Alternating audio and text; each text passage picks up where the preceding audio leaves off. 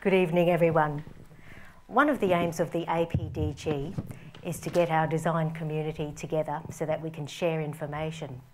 So when I was asked to participate in this APDG talk, I was only too happy to do so because our Australian film crews are of a certain calibre and I just wanted to show some of the outstanding work that has been produced. I've been a member of the APDG since it launched and I've been using Autodesk products professionally since I left high school at the age of 17, way back in the year 19...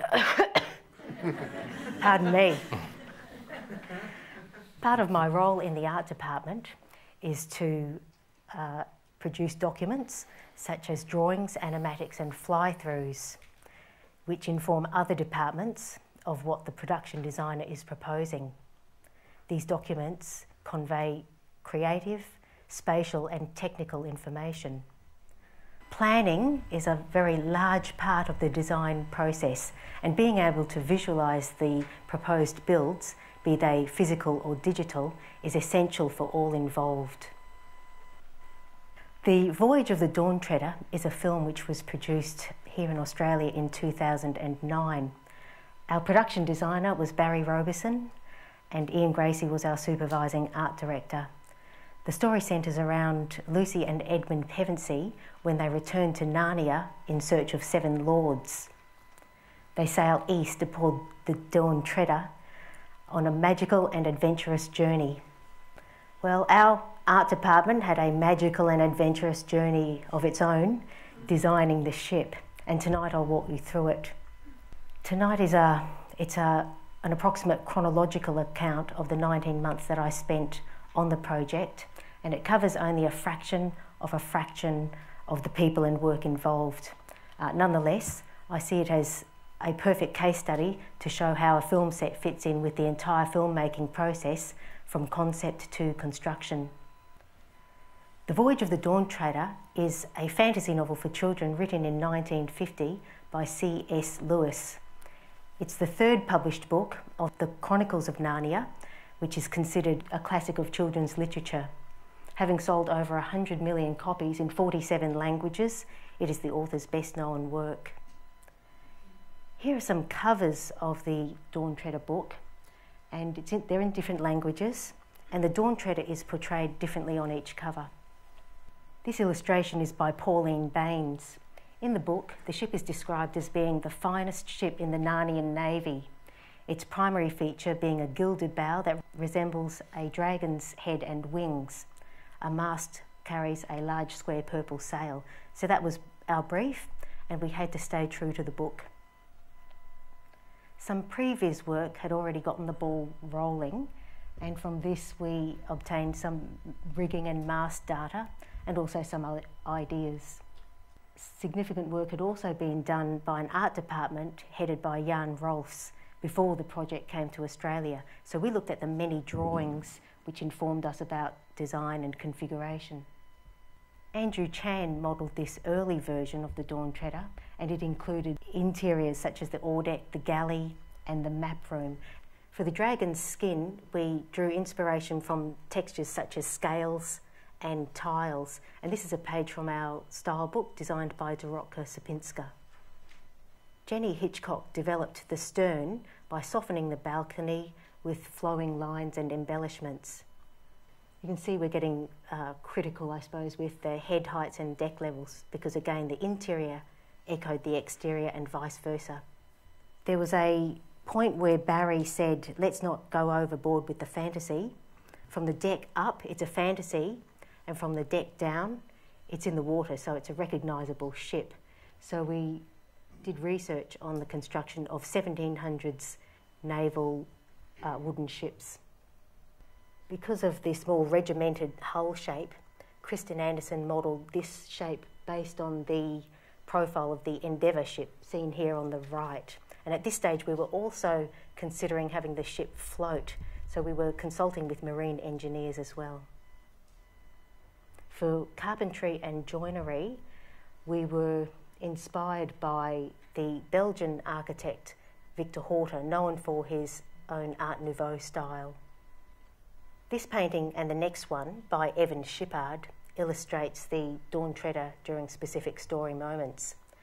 The ship design was evolving, so Kristen was continually giving her ship geometry to Evan so that his illustrations were up to date. He used Maya to import these models and set up his views and rendered them, then painted over these to Barry's uh, requirements.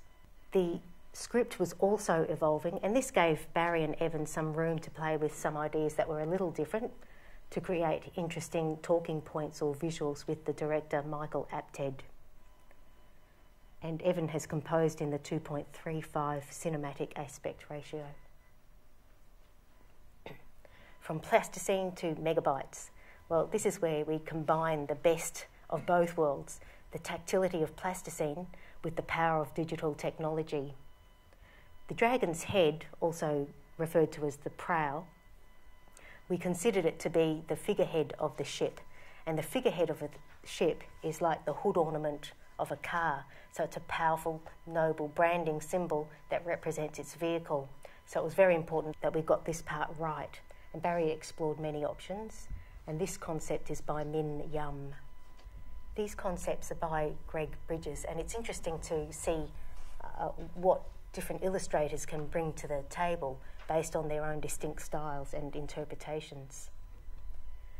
Barry did the final sketch and then employed the services of sculptor Jiang Liu to model the prow in plasticine. Barry softened the snout uh, to like, like that of a carousel horse, and he also made the tip of the tongue curl up so that the character in the mouth had a foothold. And that's Jiang, and he continued uh, modelling it, uh, the hull as well as the tail, and he modelled only this side as well. The easiest way to get this into 3ds Max was to have it digitised, and this was carried out by WYSIWYG 3D Scanning Company. This is a screenshot from their software. You'll see throughout uh, the evening how much value we got out of that scan. And as a footnote, WYSIWYG came back 16 months later to scan the entire build for visual effects. We were packing to go to Mexico and we knew that plasticine wouldn't travel safely. It doesn't even travel safely from one suburb to the other, let alone halfway around the world. So we uh, did a silicone mould with a fiberglass jacket mould from which we cast duplicates in urethane. So great, we had this physical maquette that we could cart around with us, and we had this digital scan as well. And Jiang had sculpted only this side, so I mirrored it in 3ds Max, and for the first time we were able to see this side, so it was very exciting to see the entire ship. So three Aussies and one Kiwi were in the Mexico art department at the Baja Studios. The Baja Studios were built in 1991 for James Cameron's movie Titanic, and it has the horizon pool which faces out to the Pacific Ocean. This is stage two where we propose to put the ship. So I've taken this photo, then in 3ds Max, matched all the data in the photo, rendered the Dawn Treader in water to have it reflect to gain an idea of what it would look like. Barry Robison, our production designer, is a fine artist and he uses acrylics and pencils among many other mediums. And he devised a colour palette for the Dawn Treader. Then we raced down to the art supply store and bought him paint and, and brush, and he himself painted the maquette. Set out and detailed drawings. Now it was time to get our design ideas onto drawings with real dimensions. Marco Nero, our art director in Mexico, knew a lot about ships. He had worked on Titanic and Master and Commander. So he basically rationalised the entire hull, setting out positions for the oar ports, the masts, the decks, and the railings. I've taken his drawing and created NURBS curves and then lofted these cross sections to generate NURBS surfaces. NURBS are non uniform rational basis splines and they were just perfect to model the hull and the deck.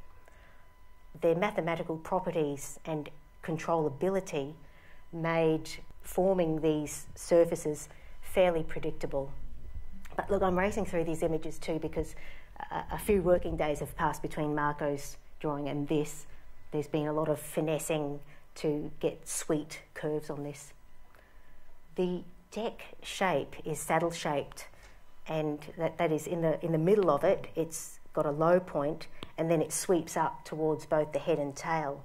And in the lateral section, it has a camber, so it has a high point in the centre of the ship, and it falls to the edges, so the water runs down the sides. So this saddle shape, as well as the entire hull, is a, a compound curve. And if I had to draw that up on the board, I swear I would have had a meltdown.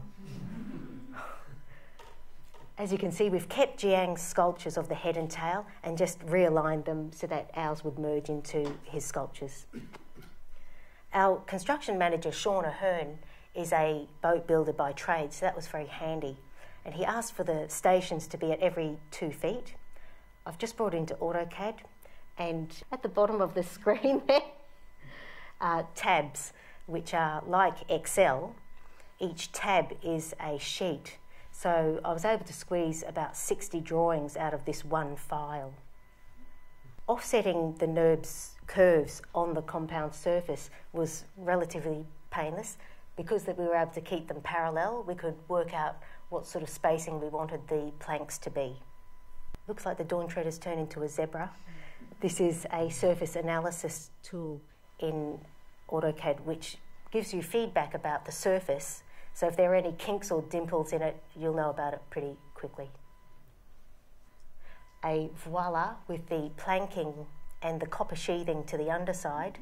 And what I love about modelling in 3D is that you just draw it once and then you can generate an infinite number of views from that one model, be they uh, orthographic like these or perspective. And likewise, if you make an amendment, you don't have to change every, every view, you just change it in the model and then it's updated everywhere.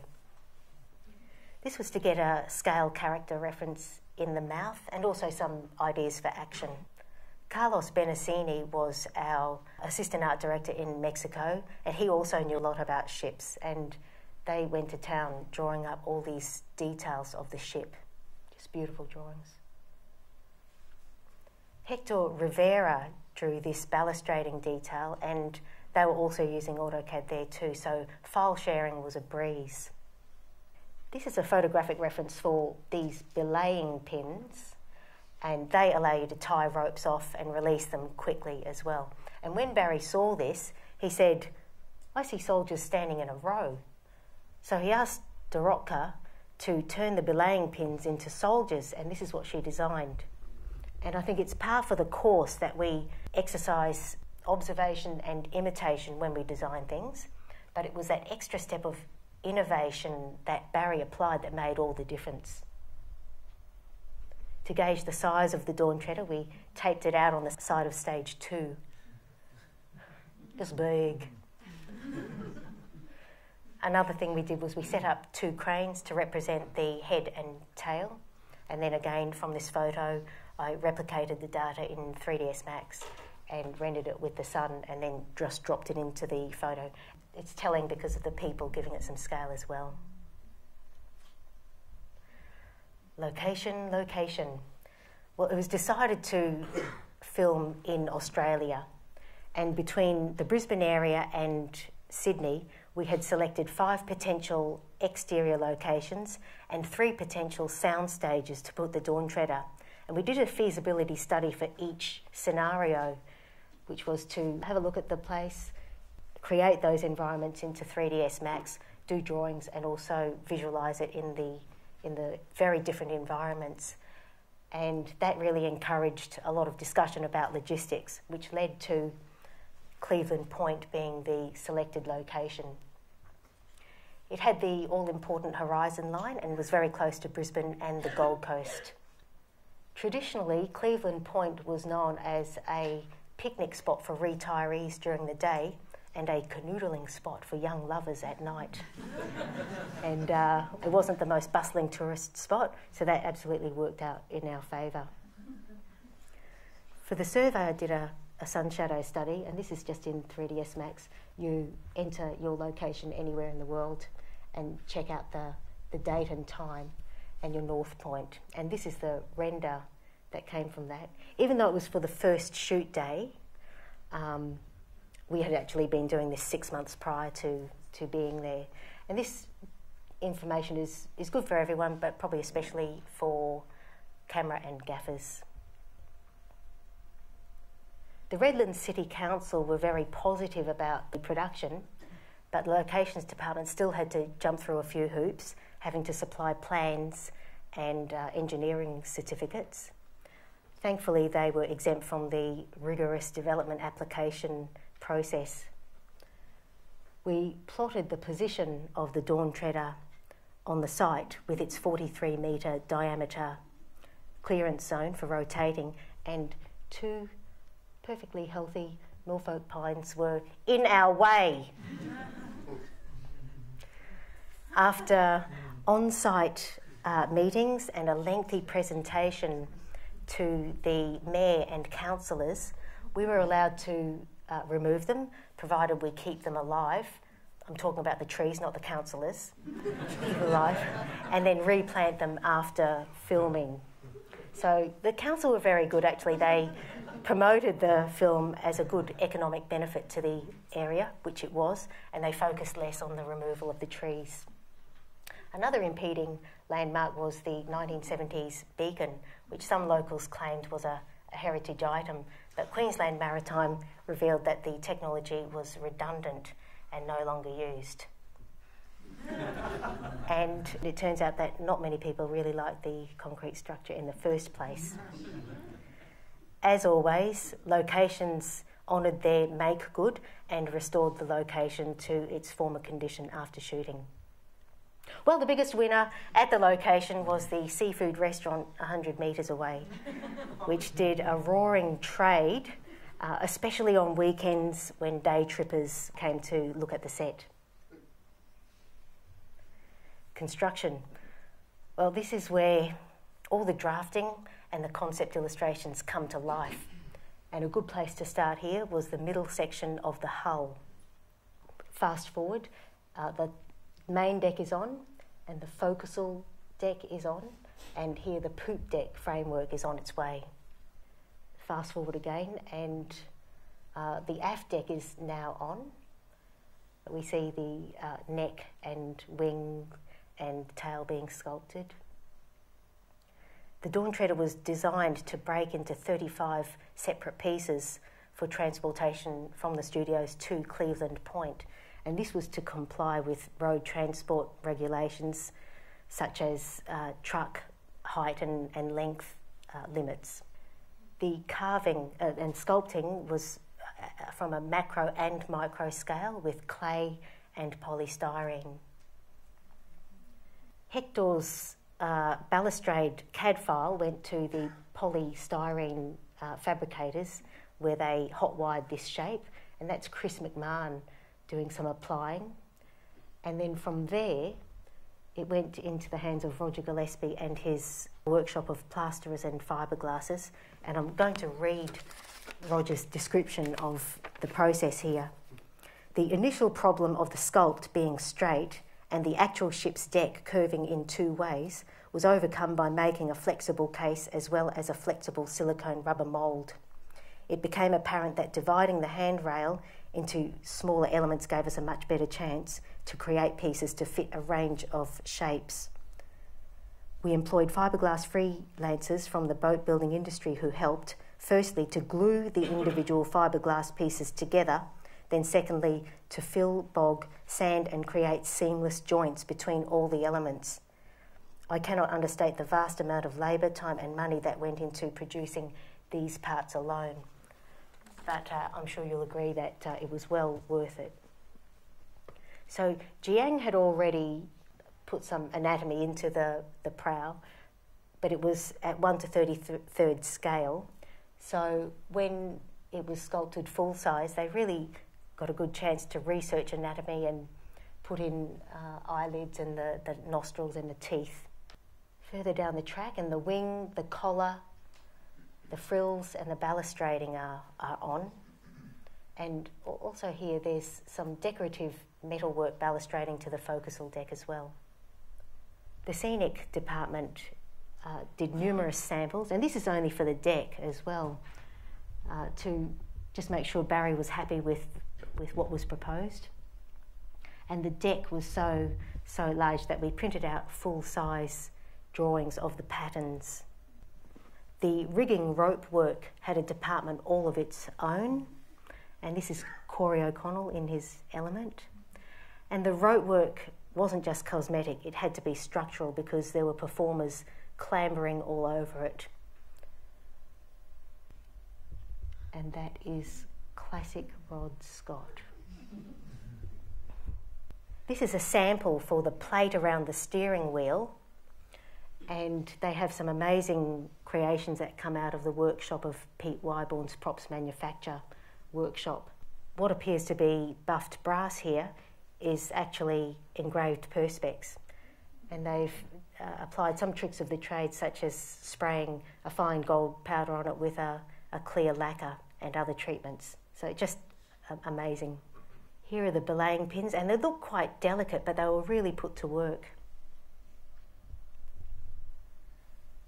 Uh, at Cleveland Point, the, the head is being lowered into position, and the aft mast as well. And Ben Gill worked on this ship from day one, plotting it out on the studio floor through to its build to Cleveland Point and, and back again, so you can understand his feelings towards it. Well, this is photographic evidence that every square millimetre is painted and finished by Matt Connors and his scenic artists.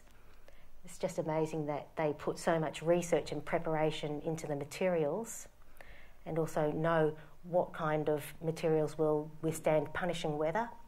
And also, they have all the methods of creating textures and, and nuances as well.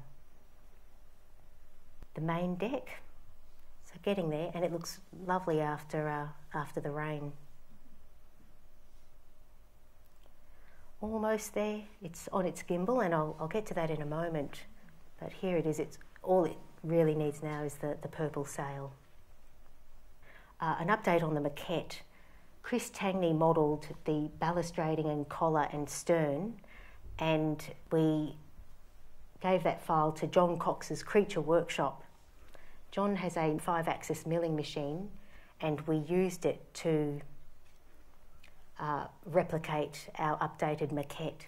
So it's very fine, does very fine work. That is a medium density machine board that he's using. You can go uh, into denser boards, but it's more expensive because you have to use a, a carbide tool. But that, that's it part way. And I'm sorry I don't have better photos, but you can see the fineness of it, especially like the detail in the oar ports. And John has also extended an invitation to everyone here tonight that if you are in the Queensland area and you would like to see the machine in action, please give him a call. Special effects. Well, the ship had to behave as if it were in water, even turbulent storm conditions, and special effects made that happen with a very sophisticated hydraulic motion base, also known as a gimbal. Here it is being fabricated in the workshop. There is a certain size steel that they used, and they bought all of Australia out of it, even having to bring it in from Perth. This is the formwork in Rio for the concrete slab. There was a pad footing in the centre of it which was 900 millimetres deep to take the point load of the ship plus the gimbal which came in at a, a 120 tonne combined weight. The sideways rolling movement was controlled by four cylinders and the forward backward pitching movement was controlled by two cylinders.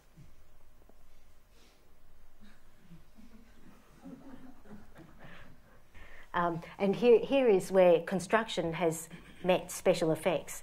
And if you consider that the ship was built in one soundstage and the gimbal was built in another workshop, and the two of them travelled separately to Cleveland Point, it just looks like the left hand was talking to the right hand here because it, has been assembled seamlessly. John Kerwick, who was uh, from construction, who did the structural steelwork drawings for the ship, and Bert Manglione, the special effects designer, they were both using AutoCAD as well. So between the three of us in construction, special effects, and art department, uh, nothing could have been easier. Uh, the red frame is rolling 15 degrees either side of centre here, and the blue frame 6 degrees either side of centre, and that's their combined movement. And this is with the Dawn treader on it. And the movements just appear to be so greatly amplified because of the, the sheer length of the Dawn treader. And I'm going to cut to stage five, not Cleveland Point, to show you the gimbal in action.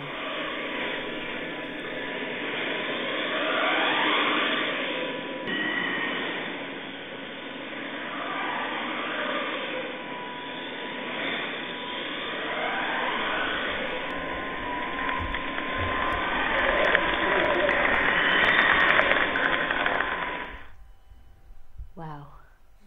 So uh, it was joystick controlled, and they could record a sequence of movements and then play it back for multiple takes.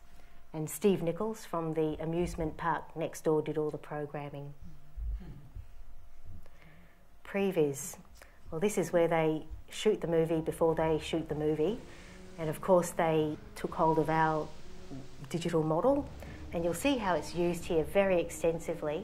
This is the sea serpent attack sequence. And you'll get an idea of their camera moves and all the action, as well as what the director's vision is. Be careful!